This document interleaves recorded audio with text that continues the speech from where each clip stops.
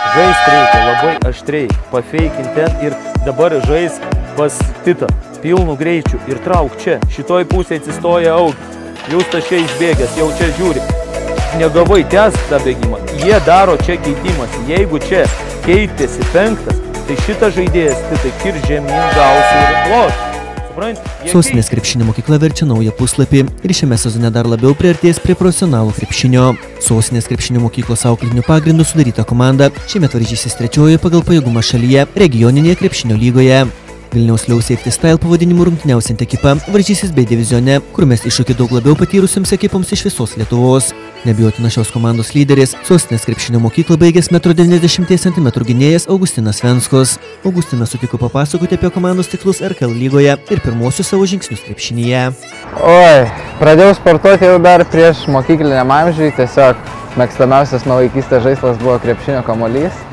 Ir tiesiog pradėjau pradžioj nuo vaikiškų krepšiukų visokių mėtyt. Ir nuo pirmos klasės tėvai užrašė krepšinio mokyklą tiesiog. Ir Tai pradėjau sportuoti, užsikabinau. Ir dabar va, jau 12 metų kaip sportuoju. Tai sostinės krepšinio mokyklą pradėjau lankyti maždaug 15 metų. Pas trenerių Tomą Urbelionį. Buvo kaip e, komanda 97 metų gimimo. Ir galvojau išbandysiu savo jėgas, kaip tenai seksis kaip kas. Ir kaip atėjau iš karto, atsimenu, pirmas turnyras buvo ABL, važiavome į Rygą į varžybas Ir taip netikėtai dar nežinau nei derinių nieko ir paėmė mane pasibandyti. Ir taip gavos, kad įsitvirtinau komandoje. Nu, ir tapau vienu pagrindiniu žaidėju, galima sakyti. Sostinės mokykla iš tikrųjų suteikia man labai daug pasitikėjimo savimi kaip žaidėjų, tenai rūpestingi treneriai ir šiaip tiesiog padėjo man tobulėti ir kaip žmogui, ir kaip žaidėjui. Išmokau daug naujų ir, ir, ir gudrybių krepšinio aikštelė ir tiesiog už jos ribų tapau kaip ramesnis, labiau savim pasitikintis ir, ir, ir taip toliau.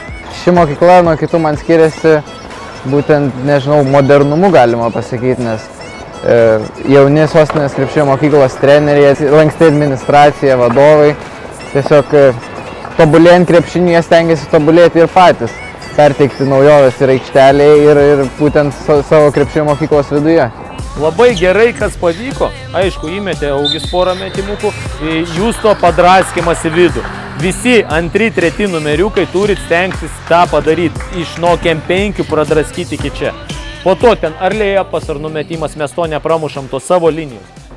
Perspektyvių krepšininkų ekipą treniruos patyręs treneris Egidijus Ženevičius.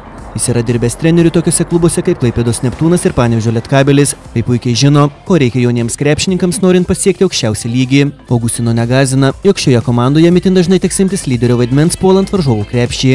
Visiškai negazdina ir aš būtent ties to dirbau visą laiką, kiek treniruojas krepšinį ir kiekvieną mano žaidėją būtų svajonė lyderio, bet aš savęs tokiu visiškai nelaikau. E, mūsų komanda yra bendra ir vienas kumštis ir mes jeigu kažką laimėsim ne, ne atskirų žaidėjų, kokiais nors sugebėjimais, o būtent visos komandos. Treneris Egidijus Ženevičius kol kas, aišku, dar neilgai su juo treniravomės, bet palieka labai gerą įspūdį. Tikrai labai rimtai žiūri į savo darbą ir, ir su, kartu su treneriu Gintaru Rozučiu, manau, tikrai gali kažką sulibdyti iš mūsų šitos RKL komandos, kad kažką pasiektume. E, mūsų komanda yra pakankamai jauna ir, ir tikrai turime daug, daug energijos, daug noro ir, ir galime propaguoti greitą žaidimą, galime ten kiek, kiekvienas gynyboje keistis ir taip toliau, visi panašaus ūgio. Ir, ir tokios būtų stiprybės mūsų. Taiklė ranka pasižyminčiam krepšininkui dar tik 19, tačiau jis jau yra rungtyniavęs aukštame lygyje ir iškovojęs ne vieną snaiperio konkursą. Taiklė ranka įsukdo treniruotėse, o kiekviena diena be kamuolio iš karto atsiliepia jo taiklumui. Nuo mažens treneriai pastebėjo, kad turiu talentą pataikyti krepšį Ir tiesiog pagalvojau, kodėlgi dar labiau nepatobulinus tos savybės, to talento kažkokio. Ir, ir, ir, ir taip gavosi, kad neblogai pataikau į krepšį. Netgi galima sakyti, dieną nepamiečius, ne, nepajautus tą kamolį iš vis neturėjus rankose visiškai kitoks metimas. Reikia kasdieną šlifuoti tos metimus ir rezultatas ateina. Oi, nėra svarbių metimų esu pataikęs, bet tokių, kad kurie išplėštų pergalę, tai dar, dar, dar, dar tikiuosi ateityje bus. Metas. Gerai, gerai, gerai, atsikvėp, šumus. Atsikvėp. Nepaleidžiam, kebra, įsikabinam, dirbam, įsikabinam, dirbam, nepaleidžiam vėl. Esus.